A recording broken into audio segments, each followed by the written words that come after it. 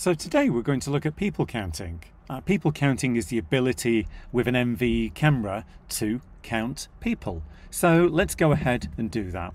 We're going to click on our camera and we get the stream almost immediately. But what we're going to do is go up to analytics. Now we can create a line or we can create an area. It's really up to you as to which one you do for your particular use case. But we're going to create an area.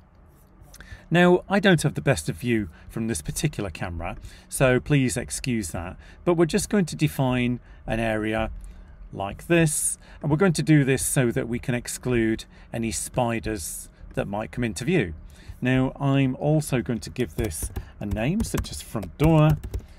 Now, we can actually change the duration. Well, what that actually means is how long somebody needs to be in shot before they are counted. I'm going to leave this as one second. Let's click Save. And this is our area defined. So after letting the camera run for some time, so we've got some meaningful data, we can go back to the camera now and to see how the people counting has worked. So let's click on this. Let's go to analytics and you will see how the people counting has worked throughout a particular time period.